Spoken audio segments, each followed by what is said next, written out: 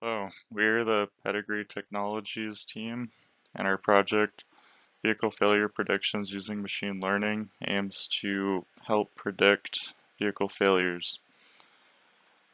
Our sponsor for this project was Josh DeCock.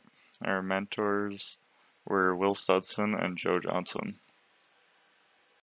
Pedigree Technology offers several product features including asset vehicle tracking, fleet management, and mobile equipment management among other features to aid business vehicle needs.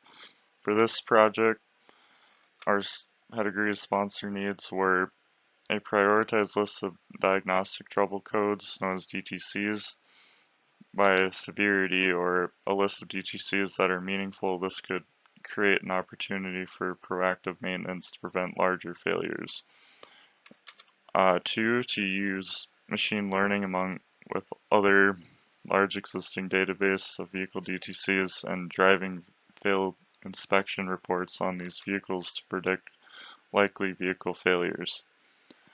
Using machine learning predict likely vehicle failures based upon DTCs or a combination of DTCs or highest risk severity DTCs for vehicle failures.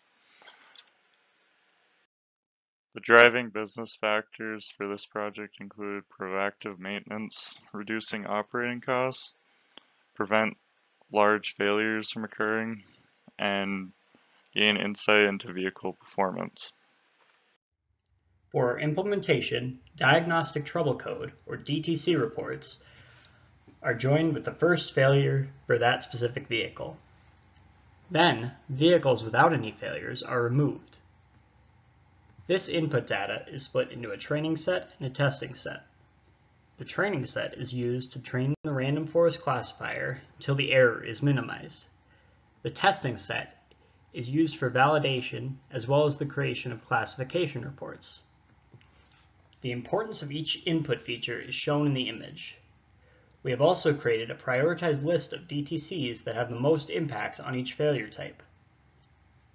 Finally, the model and documentation were delivered to Pedigree.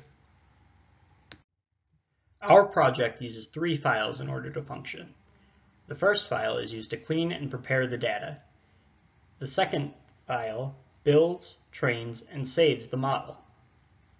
The final file loads the created model and uses it to create a classification report.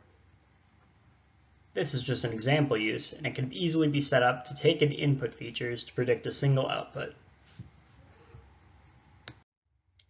This is the classification report used to evaluate the model. We aren't running the process right now since it takes a few minutes to run.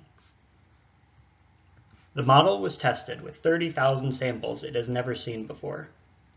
As you can see, the model has an overall accuracy of around 57% for predicting the correct failure type.